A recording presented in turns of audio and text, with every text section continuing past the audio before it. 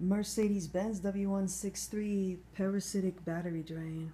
Check the pinned comment for the timestamps. Shown next is how to use a multimeter at the battery to confirm a parasitic draw. Troubleshooting each circuit to locate the draw starts at about the 5 minute mark. On this ML, the trouble circuit was found to be the TeleAid emergency call circuit. Troubleshooting and repair of the TeleAid circuit starts at about the 14 minute mark. This is a 2005 ML500 with the special edition package. It is taken to failing to start uh, with having a dead battery if it hasn't started in a couple of days. So something is draining down the battery. The first thing we're going to do is put a meter in series uh, in the whole car circuit at the battery. If you're already familiar with how to do that, you can go ahead and skip ahead. If you're not, just watch. I'll show all the steps to it. But we want to confirm and see exactly what kind of amperage draw we're getting. Make sure the car is in sleep mode before you do this. So that just means key out of the ignition and just let her set for maybe 15 20 minutes or so. So what we're going to do is we're going to hook a multimeter up in amperage mode so we can measure amperage, which means we have to be in series and we're going to go in series into the whole car circuit through this negative post on the battery.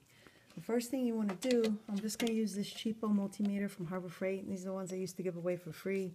They're like five bucks if you can't get it for free.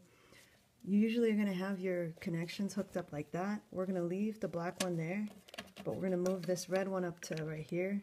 See how it says 5A? That's 5 amps.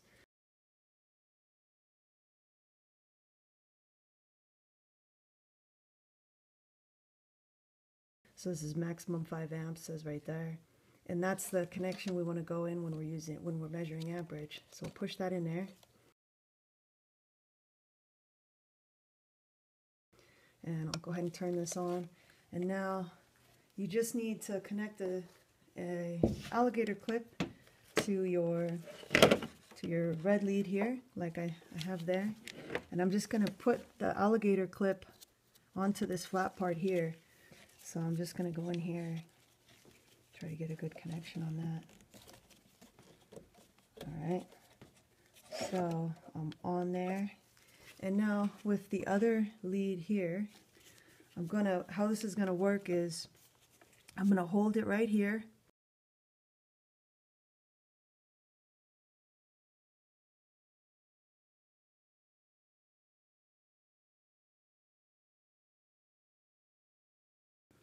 And then I'm going to loosen this nut. So I'm just going to loosen this nut here. This is a 10 millimeter. I think that's loose enough. I'll make sure I still have a good connection there. That looks good. Okay, now we're here. We have the, see, make sure you can see that. We have the meter here on this setting. So turn that so the little dot is pointing to that 5A.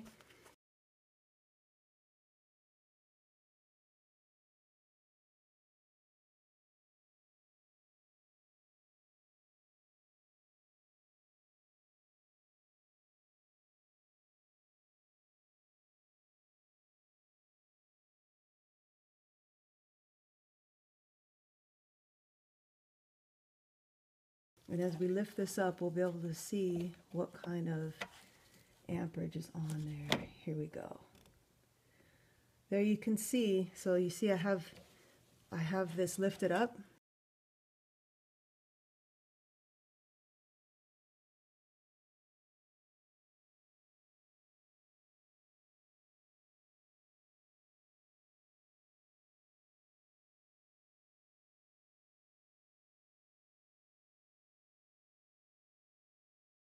So this is not touching that, but it's still, the circuit's still closed because this meter is in series. And we're getting too high of a current draw because this car is in sleep mode. It's been sitting here for a while. And yet it's still pulling down 330 milliamps. We want to see this number 50 milliamps or lower. So that would be 0.05.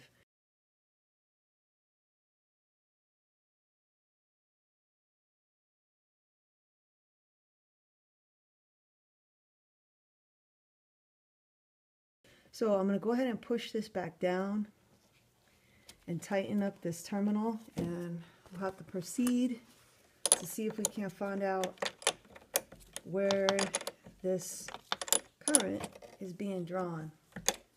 So we definitely have a parasitic drain. Usually what you'd want to do on most cars next is to just verify that you don't have a diode or multiple diodes out in the alternator. I'm going to skip that for now in the ML just because it's a little bit difficult to get down in here. We'll check the fuse box first. To get in the fuse box here, there are these little clips. There should be one here. It's broken on this one, but you just want to pull it back like that and then pull the other one back. And then this just rocks, rocks out. And you can see we got a whole bunch of fuses and relays in there.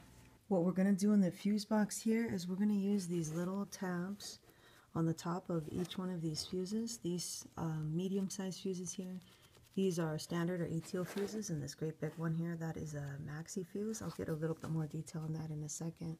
But you can see the top of these, there's a little metal contact. We can put our multimeter there and get a reading. The reading we're going to do in the fuse box is not going to be for amperage because we can use a time-saving technique to check voltage and then infer the amperage based on the voltage and the fuse type. Check the pin comment or the description for a link to a site where you can print these out. This technique is, there's a really great video, I'll put a link up to it, um, from Humble Mechanic who outlines this technique in even greater detail than you'll see here. If you are curious, I suggest you check out his video.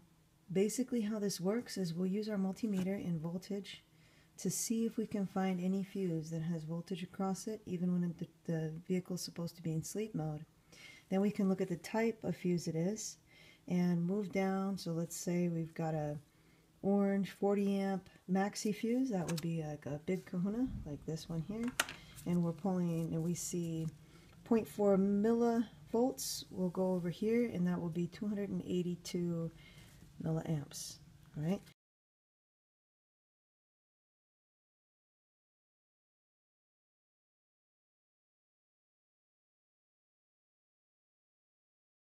So this is nice because we don't have to jump in series on every single fuse. We don't have to pull any fuses. We can just look for uh, look for voltage across the top of them just by pressing up against those little tiny tabs there.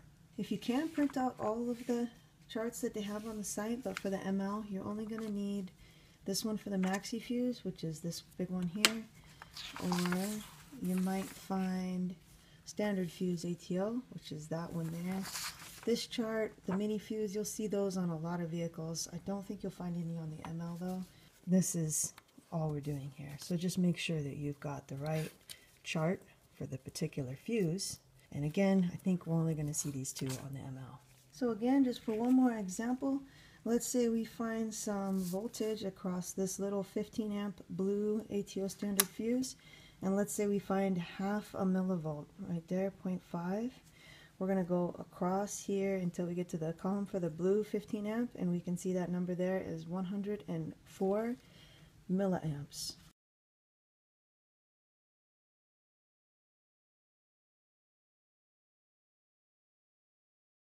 So these charts are great. They're going to save a lot of time. We're going to make a change to our meter here. We're going to move this red lead from that amperage down here to here. You see the voltage? Push that in there. We'll turn our dial selector to whatever your lowest DC voltage setting is. On this one, it's 200 millivolts. So we'll make sure we're there and there. Then what we're going to be doing in the fuse box is on those little tiny contacts on the top of each fuse. We're just going to be pressing in just like that and looking for any voltage here. Now again, we're checking voltage, not current. We'd have to be in series to get current, but we can get voltage in parallel and that's nothing. We'll call that no voltage. But if we find one that's getting voltage across it, we can infer what the amperage might be depending upon the fuse type. So nothing there, nothing there, nothing there. And there we have some voltage. And I should mention it doesn't matter which way you do this. It's just going to, you know, all that's going to do is show a negative sign if you're one way not. So that's some voltage there. And let me take a note of this. This is fuse number 8. There's little numbers on the side. It says 8 right there. This is a 25 amp fuse. So we'll continue on down. Nothing there. Nothing there. And I'm just going to do this whole line of fuses I'm just going to keep going down the whole thing on these big fuses. They also have the contacts on the top. They're even easier to get to like that. So just check all the fuses. The other fuse box that we want to check is inside on the passenger footwell. And um, make sure I would do your, your engine one first before you go in here because if you open up the door, it's going to take it out of sleep mode. And depending on your settings, it might, might, you might have to wait a little while before you get good readings. But if we look right down here, that's where the fuse box is there. To open up this fuse box, you can just use a coin and you just are going to turn these like that. And then this, oops, I think I need to pull this back a little. And this will come out like so. And we have a bunch of fuses. So you also want to make sure you check all of those. And the fuse mat is on the back here for those. There's a look there at some of the circuits uh, in this fuse box here. And the ones I'd really look at would be those big 35 amp fuses, F10, F11. Those are for the motors for the front seat adjustment. Now those are known issues on these MLs. Uh, they get wild and they don't go into sleep mode or they just keep, they stay on, they keep drawing current and they drain your battery down. The one thing I'll mention with those, that F11, F10, uh, you will get a little bit of current draw if you've just opened the door. You have to let it set for a little bit because um, they go in, at least on this ML500, I don't know if it's even the same on the 350, that uh, my sister's 350, but since it's got all these memory things and stuff in that motor, it'll kind of do a little wake up. Uh, you have to wait a couple minutes for it to die down that's them there. It is super duper awkward in here, but I'll try this with one hand to see if I can show you what the reading is on there. Door's been open probably for about a minute. So let's see what we get here. Okay, you can see we've got point, let me go right there. We've got point one, we've got point one millivolts on there. So to try to get it into sleep, I just turn the lights off by pressing the domes. I'm going to leave this door open and give it a few minutes and see if it'll go into sleep because uh, it's kind of difficult to get on here and make any measurements if you don't have the door open. Okay, this has been setting now with the door open, so hopefully we're in full-blown sleep mode here. Let's see what kind of voltage we get on these. Let's see. Okay, there we go. Alright, zero. Check this one and zero. Okay, so when you first when you first open the door, even if the car was previously in sleep mode, you'll get a little bit of voltage across those. Make sure you check it after it's been setting for like 15-20 minutes, and then you shouldn't have anything. And also, you can see I've got the door open. Like I said, it's been open for a while, but doing this doesn't do anything, and that makes sense since there's no voltage across that circuit. So, another thing to check. So I went ahead, I went ahead and turned those overhead lights on, and now we'll close the door and open the door and see if anything wakes up. I'm not exactly sure what the, yeah it does, so it just woke up. So um, you want to leave the door open for a certain period of time because the only thing I've done is, you just saw we didn't have any voltage across that fuse. If we check it now we will because you saw that this is, this is awake so just opening and closing the door will wake this thing up. But after a certain period of time, not sure the period of time because I had to go and do something else, but it was something at least 15, 20 minutes, then you should have no voltage.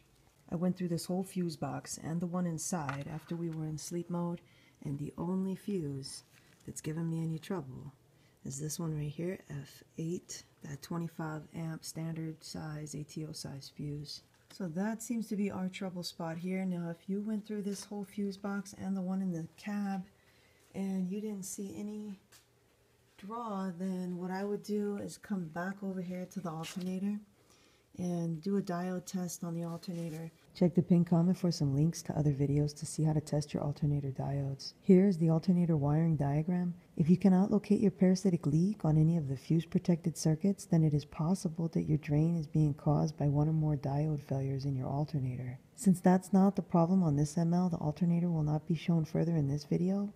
But again, check the pin comment for some links to other videos that might be helpful for you. So we'll use this chart here for the standard fuse ATO since that was one of these kind of size fuses here. When I went back and checked it, it was kind of flashing between 0.6 and 0.7 uh, millivolts. So we'll just kind of see what both of those values are. All right, so we're going to be looking at those bottom two values. So we're at 0.7 and 0.6 millivolts, what we had on the meter. It was a clear 25 amp. And so that's a pretty significant draw there. That is a draw between 238 and 278 milliamps. And if you remember when we were in series at the battery, our draw was 330 milliamps. And we wanted that to be somewhere in the 50 milliamp range or below.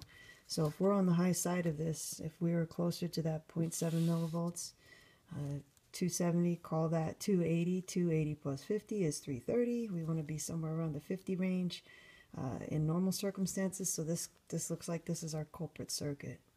All right, so that was fuse 8. Fuse 8, we can confirm it in position, plus it was labeled on the, on the box. There's a little label. Fuse 8, 25 amp. That is transfer case slash emergency system. All right, so I looked up what exactly emergency system means on here, and that is the TeleAid, the SOS button, that old antiquated analog system that Mercedes hasn't even supported since like 2007 or 2008.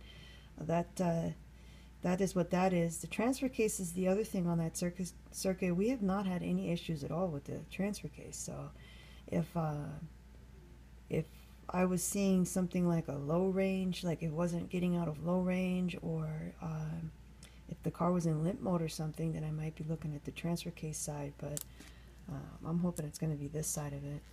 What I'll do next is I will pull out this fuse, this F8 fuse.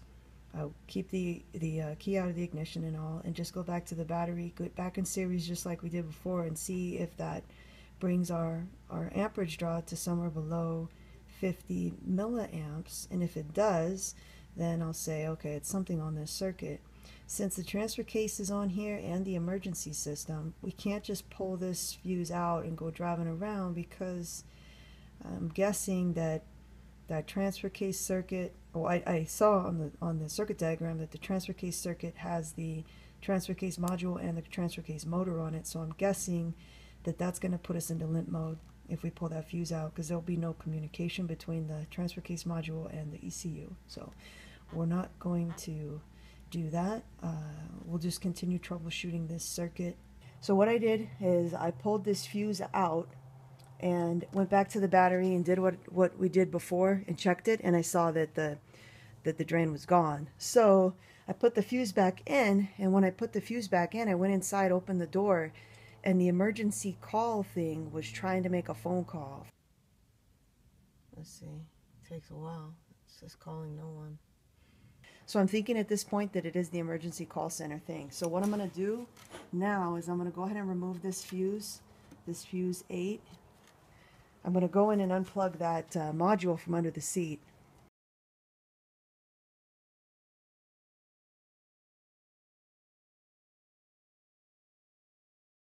Before I go back inside and unplug that, I'm going to go ahead and get this set up again. So we're going to move up here to the amperage, the amperage connection, go into the amperage mode, and I'm just going to set this up just to show you what I saw a minute ago when I pulled that fuse. So I'll make sure I got a good connection there. And something I forgot to mention earlier in the video, if you're worried about your connection there, uh, if you want to check it, you can move back down to the voltage side here, turn over to voltage, so 20 volts DC, and then with the other lead, I'm just going to put it on the other side of the battery, and if you can see a battery voltage there, then you know that your connection there is okay. If you do this and you don't see anything, then your connection here isn't good, so you'd want to scratch it, clean it up, get a better connection. So we, we do have a connection there. We're going to go back up to amperage mode. So that one there. Go back over to amperage selection, that one there. And then we're just going to do this same thing that we did, same thing that we did before. So it's putting this on here, all right, to close that, and then removing this, oops, the wrong way. removing this terminal.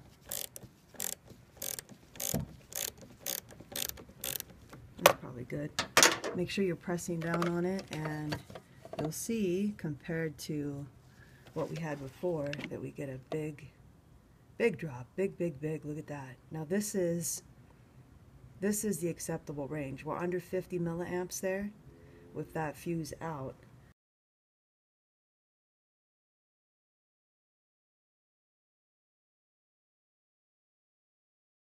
So I'm gonna go ahead and put this back on and take this setup out here let me tighten this make sure it's tightened and now I'm going to go in and plug that module. The emergency call module is under the passenger seat and this this ML has like the safe thing that's here. Either way, uh, no matter whether you have that or not, we have to remove four fasteners. This one there, that one there, and then two in the back that are just like it to get the seat out. So you want to put the seat in this position with the back all the way as, as far as up as it will go because once we have those undone, we're just going to tip it back. As you can see, those are external Torx bolts, and that is an E14. If you have the two in the front out, you want to move the seat forward to be able to access the two in the back. That's the call module there, and you can see we have one, two. The one on this side has like a bushing underneath it, so you can just keep all this together and put it to the side. Now we'll go ahead and tip the seat back. So I'll move the seat back. And once it's in all the way back position, we'll just kind of lean it up and that'll give us access. There we go. I'll lean it up. And now we can, now we can get in there. That's the Tele-Aid module here. You can see these are four 10 millimeter bolts that hold it in place. This big connector, which has got some fiber optic cables on it, and then this antenna. Here's how to unplug this module. On this side, there's kind of like a little tab that you push in. And when that's pushed in, you pull this metal thing up. So let's see if I can do it with one hand. Press that in, pull the metal thing up, and then it kind of rock out. And then this will pull out like that. Then this here is just an antenna, and that just pulls straight out like that. Those two, those are part of the fiber optic loop in this vehicle. You can see the connections there.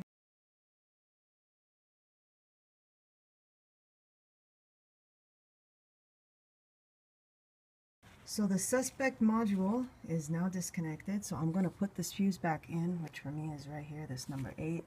Then I'm going to go back and check the draw on the battery. So we're in there.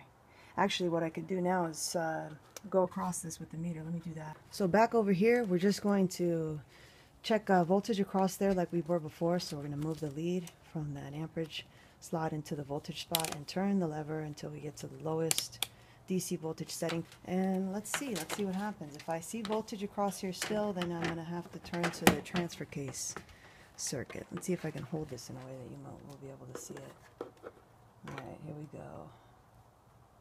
Let's see, what do we got? Well, look at that. All right, so this is our problem. We got some kind of problem inside that module. Now that it's out of the circuit, we don't have that. We don't have that uh, amperage draw. If you're having a similar problem on Fuse 8 and you do what we just did and you actually still have a pole here, then the two things on the other side of the circuit, so to speak, because it splits, so the other two things would be the transfer case module, which is under the um, center center console thing, it's a little box under there, and then of course the transfer case motor. We will focus now on this huge wiring diagram here. The rest of this video is going to be troubleshooting this Tele-Aid circuit since that's our problem. If you've been using the video to isolate another circuit for your parasitic drain, you can use the same kind of methodology and techniques, uh, but it won't be specific to any other circuit. The rest of this video is only going to be about this. Here is the emergency call circuit wiring diagram schematic. It's quite long. There's a lot of things going into this unit here, which is the call module, that's our fuse 8, that 25 amp fuse. This is the fuse box to AAM side. I'm really hoping it's not the AAM, so I'm just going to work this way. And what's down here that's most accessible to me is the module and the overhead switch. So I'm hypothesizing that if something's going wrong with this overhead switch, maybe it's telling the module to call. The module keeps calling and calling and calling. Of course, no one answers, so it's draining down the battery. Alternatively, maybe there's some type of interior fault on the module, and it thinks it's getting a signal from, say, the SRS module to that the airbags have deployed or something like that, and it's saying call, call, call, and it keeps doing that. Whatever is going wrong, I'm not going to dig a whole lot deeper than the module or the switch because it starts to get pretty complicated after that. And at that point, it starts to make sense to just take this in to the Mercedes dealer or an Indy, pay the 120 bucks and have them set this module to not present. Um, but for now, I'm going to try to try to troubleshoot this the freeway with the switch. If that doesn't work, then I'll try to get a used module uh, since that's cheaper. But probably the better long term, uh, if you can, if you have a Mercedes dealer near you or an Indy who's got uh, MB Star Diagnostics, probably the best solution would be to go ahead and pay the money and have them set this TeleAid module to not present. But as far as I know, there's no way for regular shade trees to do that. In case you're wondering, hey, why don't we just unplug it and roll? That's an option too. But um, I suspect there's going to be an SRS light because this is part of that SRS logic. We'll find that out because I will unplug it and we'll run the codes on it and see. But, you know, if this is draining down your battery and the only solution you have is to unplug it, then unplug it and deal with the SRS light, I suppose my limited understanding of how this thing worked when it was in effect is that if the airbags went off or if you press the SOS button, that would activate the emergency call module to call the emergency service people. Uh, and it's like a specific Mercedes-Benz thing, and they would send a bunch of information, including the VIN. They would send the last speed, the last direction, the GPS location, the uh, estimated number of occupants, I'm guessing from the seatbelt sensors, a bunch of information like that. And then um, as far as communication, it would take over the radio nav unit, either wake it up if it was off or if you were listening to the CD or whatever, turn that off and turn it into a communication mode where you could talk with the emergency people. And so they had, there's a hands-free system in here, so you don't need them you don't have anything in your hand. There's a microphone, and then they can speak to you through the speakers. You can see the speakers up there. And it would send a bunch of information, and then they could talk to you and find you and whatnot. So there's a lot of information that goes into this call module thing. I'm just going to take a look for any obvious malfunction, like wires poking out or anything crazy like that. And I just don't see it. I wonder if I'm going to get a SRS light. Let's see. There are no SRS lights on this vehicle. So I'm just going to let it run through and then I will, oh, SRS, eh, just came back on. So I'm going to run the codes real quick. Let's see. There were no codes on this vehicle before. Yeah, there it is. Stored in current faulting communication with control unit, Tele-Aid, or there is a cable fault. So that's what I was thinking was going to happen with that module disconnected. The radio does work. I was expecting the radio not to work with that fiber optic loop open, but uh, I guess it's not on that.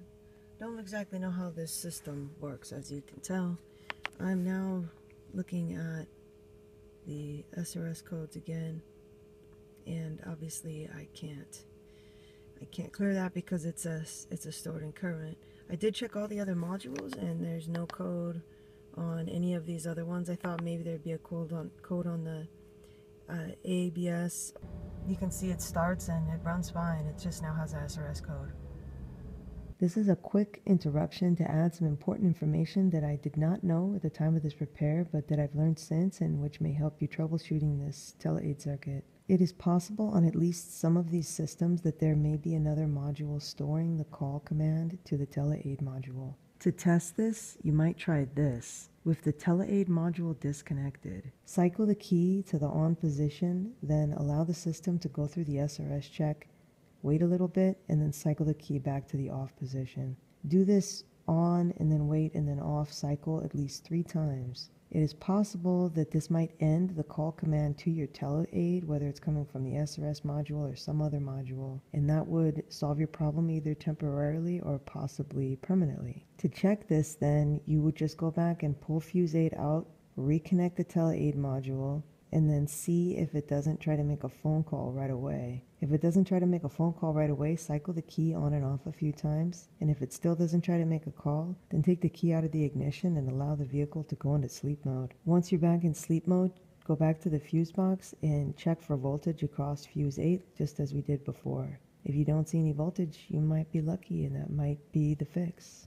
However, if you do that and you still have voltage over fuse 8, then you'll be in my same predicament like you see in the video. In that case, you'll ultimately have three options as far as I can tell. The first option is you can find a used module at the junkyard or eBay or wherever and you can use that to replace your old module. This is what you'll see me do in the video. I wasn't able to find a module at the junkyard, but I was able to find one on eBay for $30 shipped. The second option is really long term the best option, although it involves the services of a shop because you need specialized software. You find a shop or a dealer that has the MB Star Diagnostic software, and with that, they can set the module to not present. Once the module is set to not present, it's permanently removed from the computer system, and so you're not going to have to worry about anything trying to call it. You may have to use a connector to close the fiber optic loop if you decide to go with this option. And finally, the last option is just to leave the tele-aid module disconnected and just to deal with the SRS light. So as I mentioned, the option I went with was option number one, and the rest of this video you'll see that option put into effect. I want to mention what you saw earlier with this on and a, a picture of the phone and SOS and when it was trying to make a call. That's actually the first time I've seen that on here. What it did was it just went on for quite a while and then eventually it made the disconnect tone like da na na na and then it did like a siren, uh, like a woo woo woo woo kind of weird siren and then it stopped and there was still voltage though even after this screen went blank there was still voltage at that fuse 8 so what i also wanted to mention was just to see if this thing was ever falling asleep. I checked that fuse 8 after the vehicle had been setting. Nobody had opened the door or anything for over six hours and it still had that voltage on it. So that's why over the course of a couple days if it's not started it's drawing down the battery. Just wanted to mention that um, that just because you're not seeing this doesn't mean that that can't be your cause if you do find some voltage on uh, fuse 8. That's the troublemaker right there, that SOS system.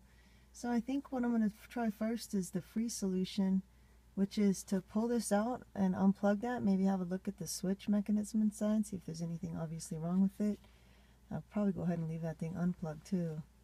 Hopefully that's not too bad of an angle there. What we're going to do to remove this is first remove these lenses and on the side here, if you go in with a pry, like this uh, plastic pry here, you can just kind of get in and pop it up and then move up towards this way. There's a little clasp right there. And then it just kind of pulls out on the bottom. I'll show you. Same deal on this side. Just going over here and then go around to the top. Oops. Pop it out and pull that out and this is where the um, light bulbs are there. If you have to change the light bulbs. Now this trim piece here it just has a few uh, clasps which you'll see in a second. So I'm just gonna pop it out. I just pried right there. Go along here whoop, along there and pry it out. And there is there there's the whole switch assembly for the sunroof and for the call module which is this side and that side. So this blue one is the one for the call module. I'm going to unplug that. Here's the switch. There's a few very small Torx fasteners. These here, you have to remove the sticker to get to get to those two because the sticker covers it. So there's one, two, three, four, five, six, seven, eight, and those are Torx sixes. And then you've got Torx tens here, here, uh, there, there, there, and I think that one can stay in. So I got those five Torx 10s out, and now for these little tiny Torx 6s. There are those eight little Torx screws, and now I'm just going to hold this part and pull up on this part just to take the very top part off like that. And this we can put to the side, and I'll just grab this board. So we can see those, we're going to flip this, so those switches there for the info and the little wrench for roadside assistance, that's those two here. And that there is the emergency call switch, which would be that one. The rest of this stuff, if we look at the, let me take this gel off. Uh, I'm going to go like this. Take this out because you'll see that the switches are kind of integrated, the, the little contacts for the switches anyway are integrated into this gel thing. And I think this gel thing is just for that soft feel. I'm not sure. But those there, those black discs, those are the contacts for the different switches. If we look at the board here, okay, that's the info and wrench side, so this would be the emergency call button side. See how tiny that, that tiny, tiny little break there. So if something fell on here and was closing this as the car drove around or whatever, um, that might be the cause there. So this would be another thing to check. Uh, but again, like what I'm going to do is just leave this thing unplugged. Sunroof will still work. Even if you don't want to go in here and take this thing apart, unplugging that blue connector will uh, eliminate this as a possible cause. To put this back together, I'll just grab the board and slip it back on here. Around this little jelly stuff.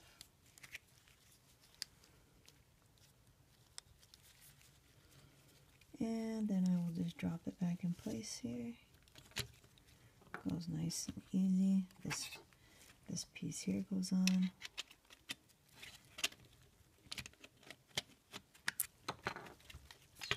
Snap there it goes snaps into place. And then we've got those little Torx and those big bigger Torx so there it is back together I'm going to go ahead and reinstall this but I'm only going to plug in the sunroof controls that black one there is the sunroof control. I'm going to leave this blue one disconnected. And to put this back in place, just push this connector so it's not going to be in the way of anything. I'm just going to kind of push it back there, I guess. And then get it in the little clasps. Let's see if I can get it in the, I guess, yeah, it looks like getting it in the back work, uh, the back first works better. And then maybe these front ones next. Oh, it's got my glove. Okay, there it's in. So to get this lens back in, we got that loop and then that kind of hook. So this is going to be this side. Push that in the back and then just kind of bend it until it snaps in. And then this one will be this side. The loop in there. Uh, see. There we go. And snap it in. Okay, so these aren't going to be illuminated anymore since that's not plugged in. Uh, but if they were causing your, your, your problem with the module, it might be the fix for you. We got fuse 8 back in, the overhead switch is unplugged now, and the old module is still in. We'll see what we get here now. Switch on the overhead console unplugged and the old module plugged in. And we have a draw there. So that is unfortunately a strike out on just disconnecting the switch, but maybe that will work for you. I will now wait for that replacement module to come in and hopefully that'll be the solution. If not, then it's going to have to be uh, going and having the uh, module set to not present. The new module came today, so I'm going to go ahead and pull this Fuse 8 out and swap in that new module, new use module. Uh, I just wanted to reiterate, make sure you pull this fuse out before you disconnect that tele-aid or any of the other modules, like if you're doing one other circuit and you have to disconnect some kind of module, make sure you, um, you remove the fuse first, then unplug the module. Pull this fuse, fuse 8, pull it out before you unplug that module. I'm going to remove these four 10 millimeter bolts. With those out, this just comes right out. Here's the original module. Here's the one that I got on eBay. And this was like 30 bucks. I compared both this model number up here and this second number. Um, ending in 709 because I saw a couple that had this same number up here but a different number here. So that's just what I went. This is uh, some type of sticker and these marks are some type of marks from the salvage dealer. But that's what that looks like there.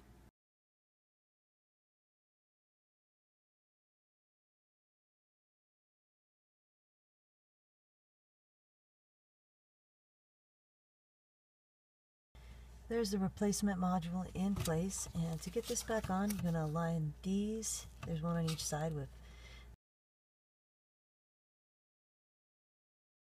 that right there and that right there. So let's see if I can do it with one hand. Okay, and once it's in, then you're to push. Oh, I got it all the way in. There you go. Push this down until it snaps. See how it snapped on that little deal there? And it feels good. And I'll go ahead and plug this antenna in like that.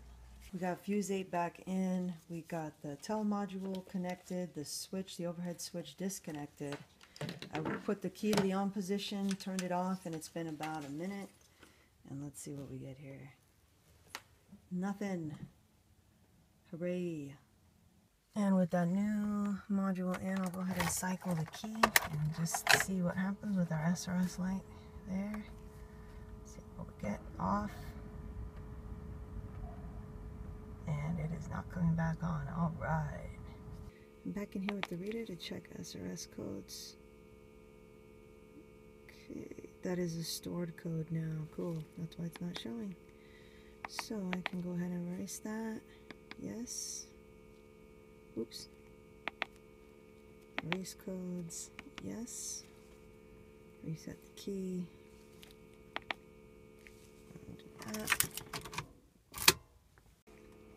Okay, I'm back in here. And no codes. No codes on that SRS. Alright. Now just note when you rock the seat down that you got to have this part aligned through this hole here. And your track might have moved around a little like this one did. So just pull it down and get it get it in place and then stick those fasteners in. I would stick each one, uh, I stick all four in uh, just a little bit because you might have to move it some uh, before you get it exactly where it needs to be. Remember that you'll have to move the seat up to get these back ones and this is the configuration of the, it's a real long bolt. That's the one that goes on this side. Just be sure to get those all tacked down nice and tight. Hopefully that's a good look there. So I've got this this on here. I'm to go ahead and keep this closed. See what kind of uh, current draw we have now. The ML is in sleep mode. It's been sitting here for about 20 minutes, so it should only be a very minimal draw. Here we go. So I'll lift this post up now. There it is. All right, and you can see there we're down at 30, which is exactly where we want to be. So this is the fix for this ML. I'm just going to make sure this is nice and tight. Good, and we're set. I hope this video was helpful for you in diagnosing your parasitic draw on the ML, uh, even if you were able to locate another different circuit and maybe troubleshoot it instead of the Tele-Aid. Thank you for watching and good luck with your repair.